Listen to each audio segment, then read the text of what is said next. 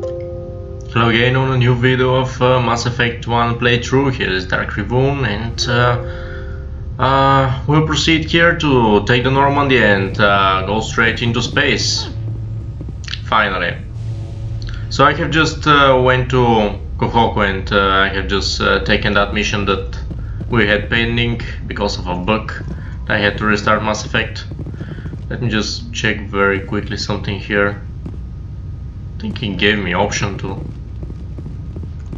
inspect something, but never mind. Let's just go.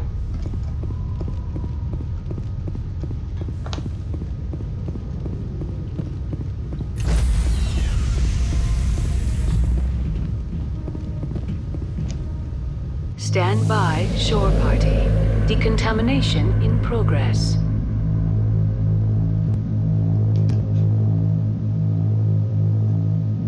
Decontamination. Heard what happened with Captain Anderson. Survives a hundred battles and then gets taken down by backroom politics. Just watch your back, Commander. Things go bad on this mission, you're next on their chopping block. Saren's out there somewhere, and we're gonna find him. Everyone on this ship's behind you, Commander. 100%. Intercom's open. If you got anything you want to say to the crew, now's the time. Yeah, we'll be honest with them things are pretty messed up, so uh, it will be a difficult mission. This is Commander Shepard speaking. We have our orders. Find Saren before he finds the conduit. I won't lie to you, crew. This mission isn't going to be easy.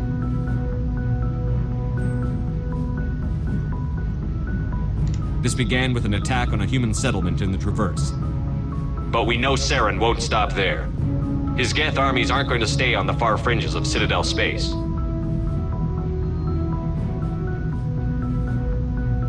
Our enemy knows we're coming. Wherever he searches for the conduit, we'll be there.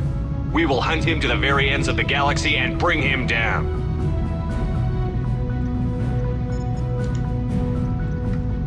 Humanity needs to do this. Not just for our own sake, but for the sake of every other species in Citadel space. Saren must be stopped. And I promise you all, we will stop him. Well said, Commander. Captain will be proud. The captain gave up everything so I could have this chance. We can't fail. Yes, sir.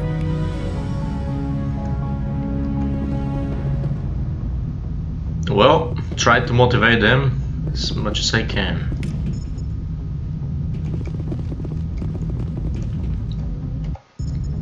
Commander, something you need? And here is our best pilot in the galaxy. How's the Normandy performing? Is she everything they said she'd be? She's the best ship in the fleet. If you've got a pilot who knows how to handle her. Balance isn't what you'd expect. Takes a while to get used to that oversized drive core we got stuffed in the back, and her power can sneak up on you if you're not careful. The Normandy's probably too much ship for your average Alliance pilot, Commander. Lucky for you, I'm anything but average. Of course you're not Joker. So his uh, full name is Jack Moreau, but uh, his uh, nickname Joker, not the one from Batman series that you would suspect. But he's definitely the best pilot I've seen. I like to know my crew. Mind if I ask you a few questions? I can see where this is going. You did a background check on me, didn't you? Well, I'll tell you the same thing I told the captain. You want me as your pilot. I'm not good. I'm not even great. I am the best damn helmsman in the Alliance fleet. Top of my class in flight school, I earned that. All those commendations in my file, I earned every single one. Those weren't given to me as charity for my disease.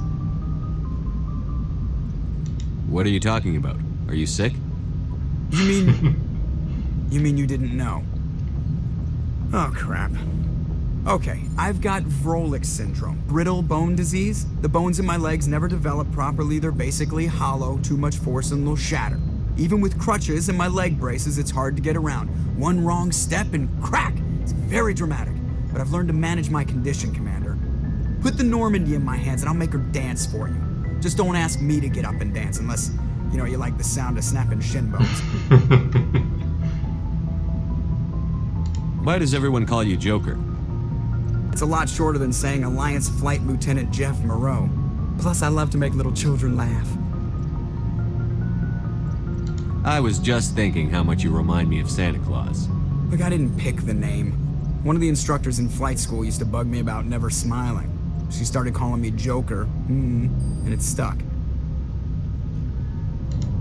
Why didn't you ever smile? Hey, I worked my ass off in flight school, Commander. The world's not gonna hand you anything if you go around grinning like an idiot. By the end of the year, I was the best pilot in the academy, even better than the instructors, and everybody knew it. They'd all got their asses kicked by the sickly kid with the creaky little legs. One guess who was smiling at graduation? I need to know more about this Vrolik syndrome if I'm putting my ship in your hands. Yeah, of course you do. It's an extremely rare condition. Nobody knows exactly what causes it. Genetic, maybe. It's treatable, but there's no cure. They classify my case as moderate to severe. I was born with over a dozen fractures hip, thighs, ankles. My bones were already breaking in the womb. A hundred years ago, I wouldn't have survived past my first year. Lucky for me, modern medical science has turned me into a productive member of society. I'm not trying to make you uncomfortable. Let's talk about something else. Whatever you want, Commander. How'd you end up joining the Alliance? Look, if you're looking for an inspirational tale of the crippled kid overcoming impossible odds, you're gonna be disappointed. My mother was a civilian contractor working for the Alliance. I basically grew up on the Arcturus station back when they were building up the fleets.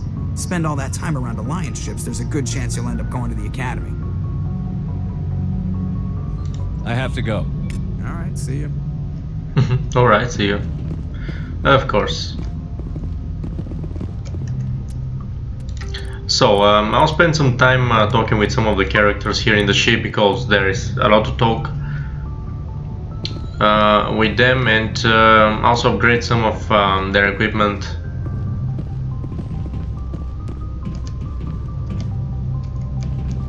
Strange I'm not able to talk with him. Like, what?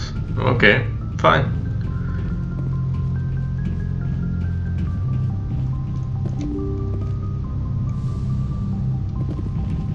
Um, yeah, I'll be. I'll be going first there. Unless it's the same place, I think it's the same place, yeah. Oh, never mind.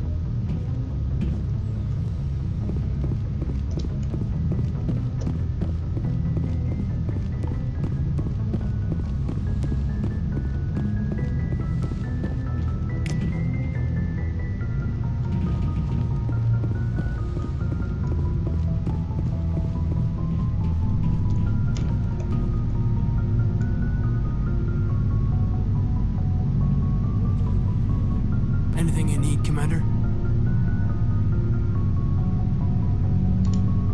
Just trying to get a sense of where the crew's at. Thoughts? I've wasted enough of your time for now, Commander. We'll have time for personal debriefings later. Like we didn't talk at all, Kaidan. I mean, how how how you pretend to make me like you? I mean, uh, anyway. What's your opinion on the last mission? I don't see how we could have done things any better. At least not without getting to Eden Prime sooner. And we were on the scene faster than any other Alliance ship could have been. We'll talk another time, Lieutenant. Commander? Of course.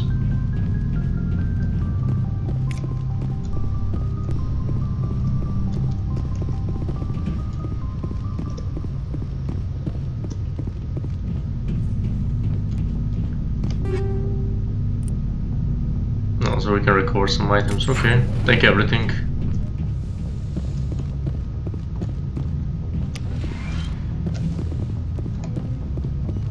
Yes, Commander? Is there something you need? I should go. Goodbye, Commander.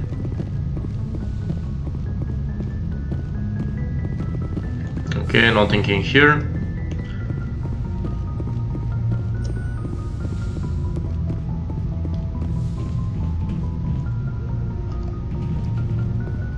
Alright, going downstairs to pay a visit to the rest of the crew.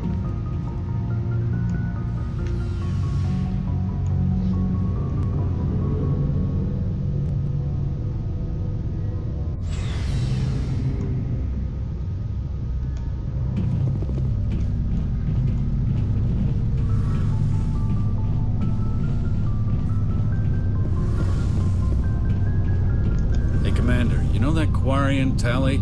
She's been spending all her time down here asking me about our engines. I'll tell her to leave you alone. What? No, she's amazing. I wish my guys were half as smart as she is. Give her a month on board and she'll know more about our engines than I do. She's got a real knack for technology, that one. I can see why you wanted her to come along. I figured she'd be a real asset to the team. You've got an eye for talent, Commander, but I'm guessing that's not why you came down here. Fill me in on the IES stealth systems. How does it work exactly? You can't hide a ship out in space. They emit too much heat and radiation. Too easy for sensors to pick them up, unless you find a way to capture those emissions. So our stealth systems trap the energy we give off in storage sinks built into the ship itself. No emissions to give away our location. Eventually the sinks have to be vented. More than a few hours silent running and they overheat. Cook us inside our own hull. There's no way for anyone to detect us? A visual scan can still pick us up. Anyone looking out a window can see us plain as day. But you have to be pretty close to get an actual visual out in space. Most vessels rely on scanners. As long as the stealth systems are engaged, they can't see us. Not unless we accelerate to FTL speeds. Why doesn't it work with faster than light travel? Cranking up the FTL blue shifts our emissions, pushes them into frequencies too high to capture in the sinks. As soon as we make the jump, it's like setting off a flare. Sensors can pick up our location whenever we enter or exit FTL flight, but for short-range missions, our stealth systems are amazing, and we've got the only one. I want to know more about the Normandy. She's the best ship I've ever served on, probably the fastest vessel ever designed. And she's the only one using the new Tantalus drive core. What's so special about the Tantalus drive core? Proportionally, it's about twice the size of any other vessel. Not only are we faster, we can run at FTL speeds longer before we have to discharge the core.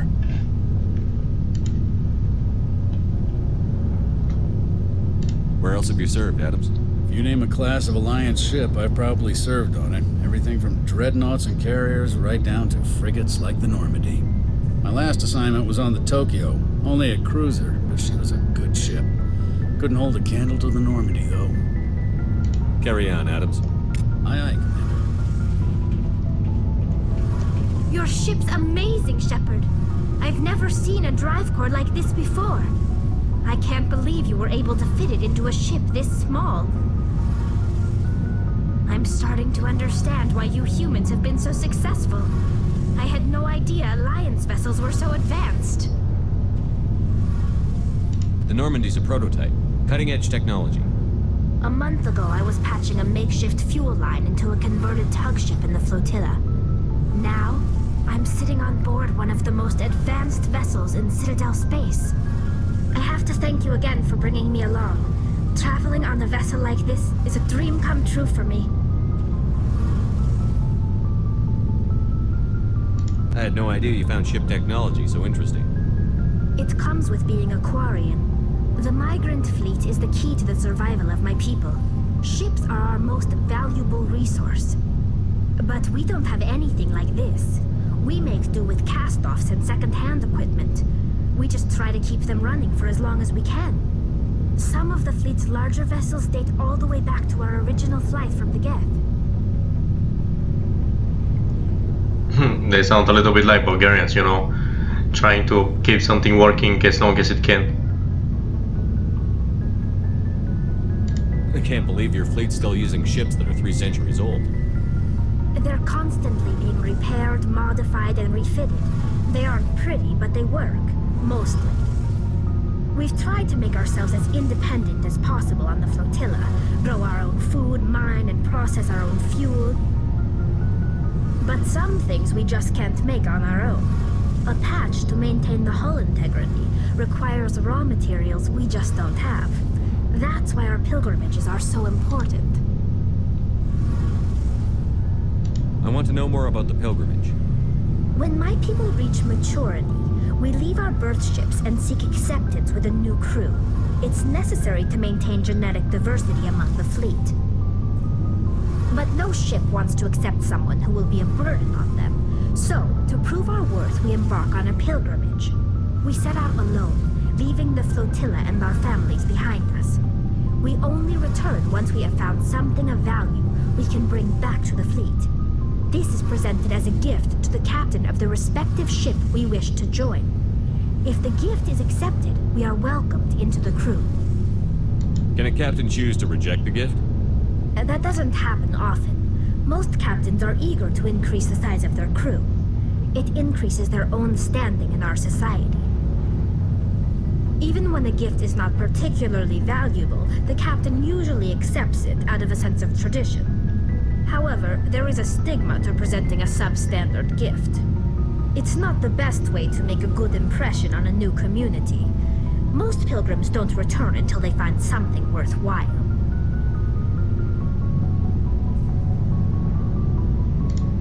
I want to talk about something else. Like what? I want to know more about the Geth. I doubt I can tell you anything you don't already know. It's been almost three centuries since they drove my people into exile. All I know is the story of their origins. What they were when we created them, and how they turned on us. Interesting. The Geth were originally created to serve as an automated manual labor force. Initially, their intelligence was as limited as any VI.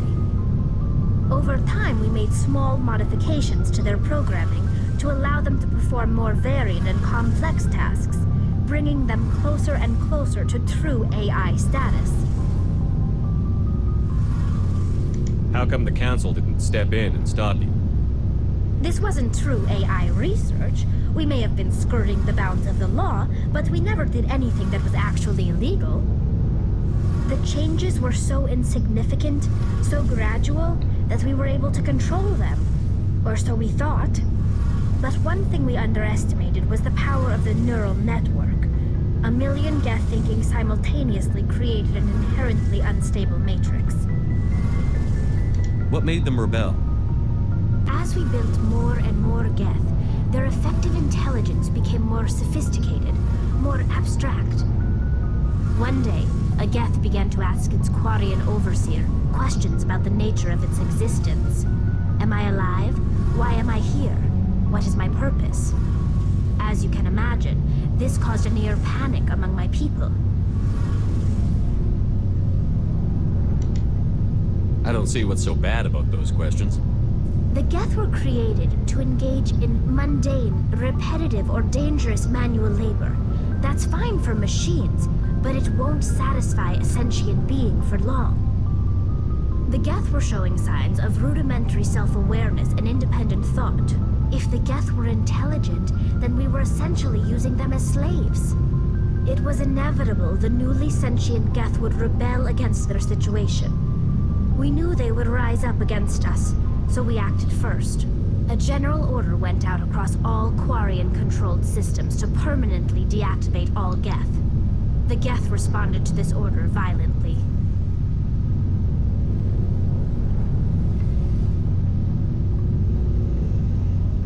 You didn't really think they'd just let you destroy them without a fight, did you? The hope was that most of the Geth would still be little more than machines, incapable of organized resistance. But they had progressed much further than anyone anticipated. The war was long and bloody. Millions upon millions of Quarians died at their hands. In the end, we were forced to flee our own homeworld. We feared the Geth would pursue us, but they never came beyond the Veil. Now we drift through space, exile searching for a way to reclaim what was once ours. It's hard to feel sorry for you. Your ancestors tried to wipe out another species. We made a mistake when we created the Geth in the first place, but we did not make a mistake when we went to war against them. If we had not acted, they would have wiped us out. They're a synthetic life form. They have no use for organics. None. Why do you think they cut themselves off from the rest of the galaxy? Why do you think they've killed every organic being who's ever tried to contact them? They didn't kill Saren. What does that tell you? The Geth are not innocent victims in all this. They're the enemy. They want to destroy us. Not just the Quarians. All organic life. That's why they've joined up with Saren. And that's why we have to stop him. Well, I can agree that we need to stop Saren, but um, overall I, I don't like the, the Quarians because more or less they created uh, the machines, you know, these uh, virtual machines, you know, VI, to do their work because they're lazy apparently, and then when their slaves, let's say, started to realize that they're more than just you know machines to do their work, they tried to wipe them out and destroy them. And now that they were pushed from their home world, they they say that they want to reclaim their home world and destroy all the Geth.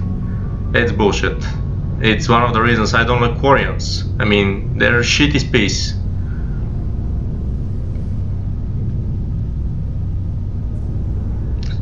But anyway, you'll find more about this uh, Quarian Geth uh, war in the future games as well. But yeah, I I prefer to protect the Geth because I don't think that they're the, the villain in this whole story. Tell me about your people. Our lives aren't easy. Resources are scarce, and we are constantly on the move. Everything we do must in some way contribute to the continuation of the migrant fleet. There are 17 million Quarians in the flotilla, and each of us relies on the others for survival. The bonds among my people are strong. Unfortunately, we have had to surrender many of the freedoms and civil liberties other species take for granted. What kind of freedoms?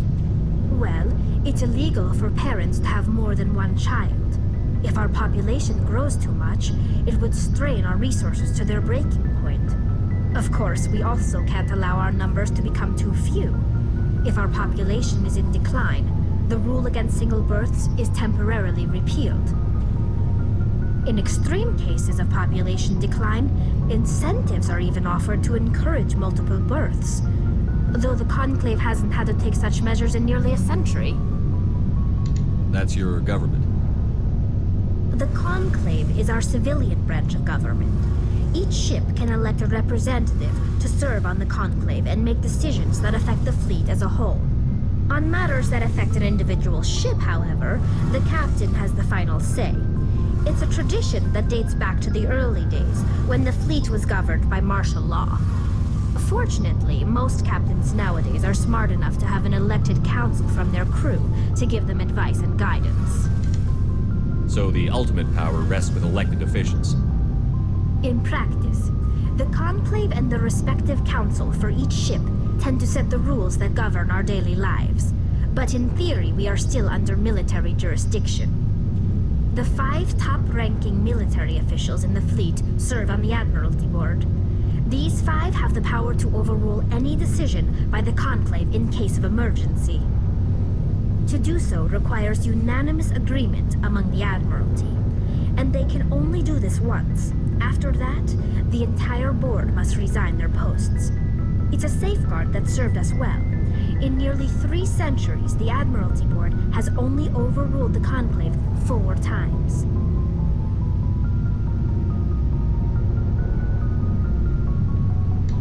I should go. See you later. Well, that was a long talk with Tali, learning a little bit about the Quarians. Assume that I can modify only my specifications here.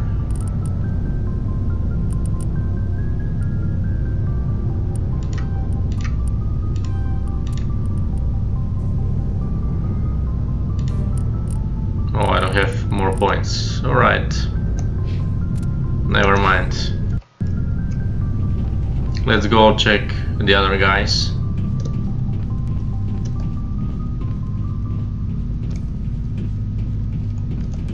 Nice ship you've got, Shepard. What can I do for you? What's your story, Wrex? There's no story. Go ask the Quarian if you want stories. See? You Krogan lived for centuries. Don't tell me you haven't had a few interesting adventures. Well, there was this one time the Turians almost wiped out our entire race. That was fun. I heard about that. You know, they almost did the same to us. It's not the same. Seems similar enough to me. So your people were infected with a genetic mutation? An infection that makes only a few in a thousand children survive birth? And I suppose it's destroying your entire species? I suppose it isn't all the same. I don't expect you to understand, but don't compare humanity's fate with the Krogan. Sorry, Wrex. I wasn't trying to get you upset. Your ignorance doesn't upset me, Shepard. As for the Krogan, I gave up on them long ago. The genophage infected us, but it's not what's killing us. What can you tell me about the genophage? Ask the Salarians if you want details. They made it. All I know, it makes breeding nearly impossible. Thousands die in stillbirth, and most never get that far. Every Krogan is infected. Every one. And no one's rushing to find a cure. Why don't the Krogan try to find a cure? When was the last time you saw a Krogan scientist? Ask a Krogan. Would he rather find a cure for the genophage or fight for credits? He'll choose fighting every time. It's just who we are, Shepard. I can't change that. Nobody can. Are your people really dying? We're sure not getting any stronger. Too spread out.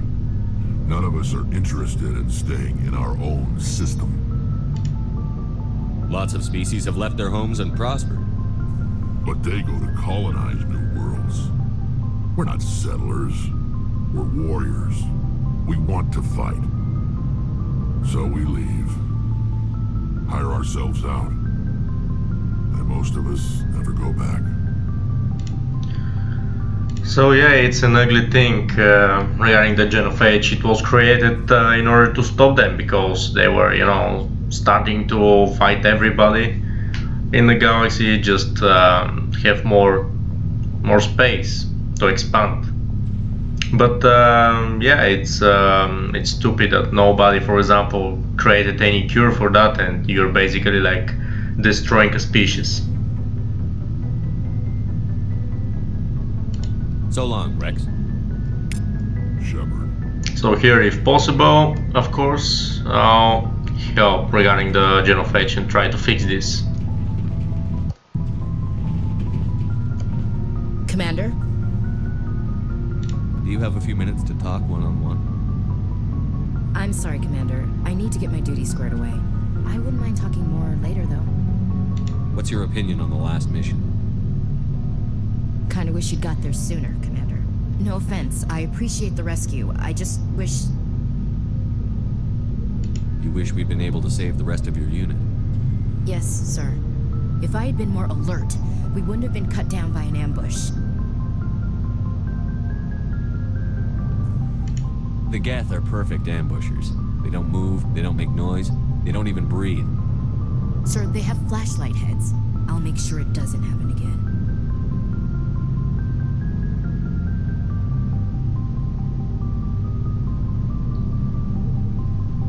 Dismissed, Chief. Sir. Okay, that was a quick talk like with Kaidan. Thanks for bringing me on board, Commander. I knew working with the Spectre would be better than life at C-Sec. Have you worked with a Spectre before? Well, no, but I know what they're like. Spectres make their own rules. You're free to handle things your way. C-Sec, you're buried by rules. The damn bureaucrats are always on your back.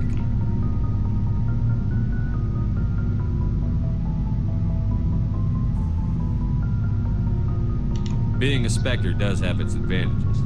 Exactly my point. If I'm trying to take down a suspect, it shouldn't matter how I do it, as long as I do it. But C-Sec wants it done their way. Protocol and procedure come first. That's why I left. So you just quit because you didn't like the way they do things? There's more to it than that. It didn't start out bad. but as I rose in ranks, I got saddled with more and more red tape. C-Sec's handling of Saren was typical. I just couldn't take it anymore. I hate leaving. I hope you made the right choice. I'd hate for you to regret it later. Well, that's sort of why I teamed up with you. It's a chance for me to get off the Citadel, see how things are done outside C-Sec. Either way, I plan to make the most of this. And without C-Sec headquarters looking over my shoulder, well, maybe I can get the job done my way for a change. As long as you do your job well, you're free to go about your business as you see fit.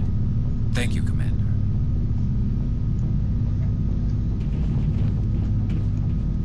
Looking for supplies? Let's see what you've got.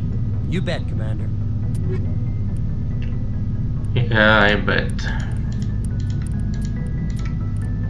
And of course there is almost nothing that I can afford to buy at the moment. Ah.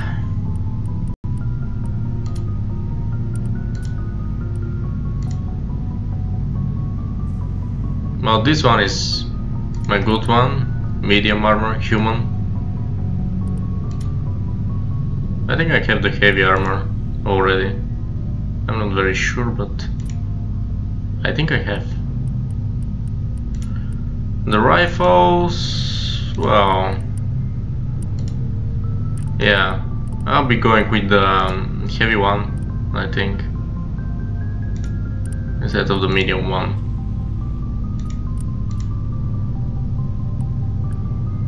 It should be for me.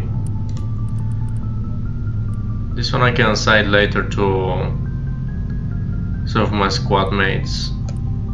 I'll be going with this one. Let me check if I can put it on me. Yeah. Well, fuck, I have already like a couple of heavy armors. Well, never mind. I spent the money I could have saved.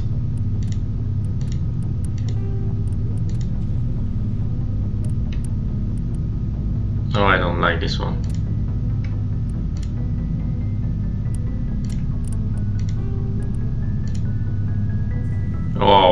Definitely not wearing this one. And this is the one that I purchased the Survivor too. Oh, it's... It's ugly as fuck. I'll not lie. It's very, very ugly. But hey, it protects, right?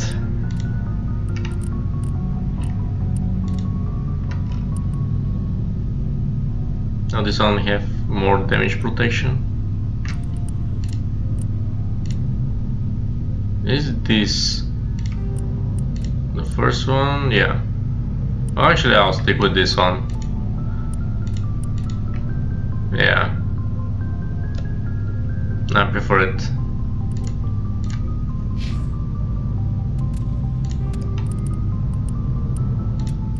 The other ones are just very ugly. Maybe I can assign one to Kaidan.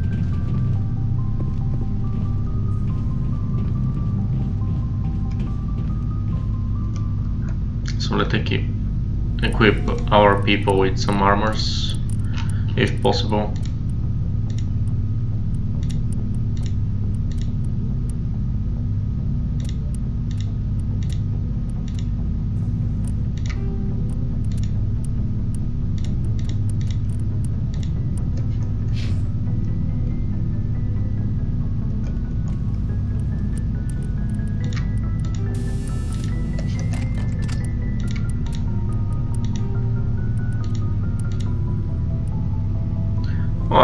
That he'll be using a sniper rifle, like, ever. And nothing here.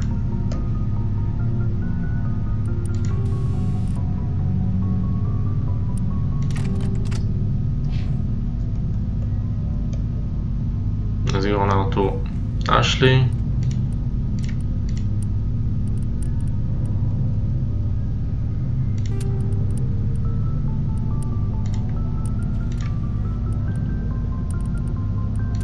Yeah, let's see about this armor. Well, actually, it's not giving protection at all here. Just damage protection. Mm, yeah. I think we'll stick with the one she had already. I think it's better.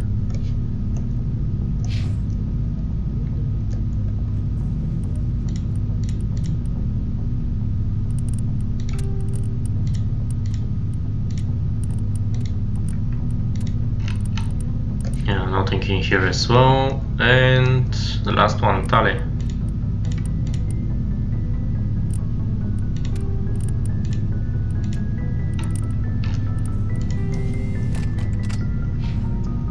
Alright. Well, that's all. Let's uh, go upstairs. Then I can finish this video. And then in the next one we can just uh, go into space, finally. Do some missions. Get more credits, more equipment.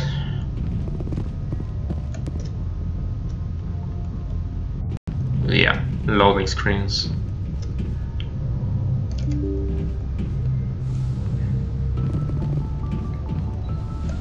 I think that here, from time to time, we can go and talk, being with the council or uh, Captain Anderson.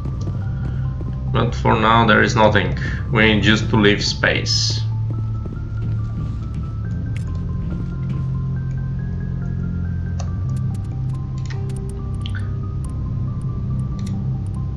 Saving and uh, that's all for this game, um, for this video of Mass Effect and uh, yeah, catch you in the next one.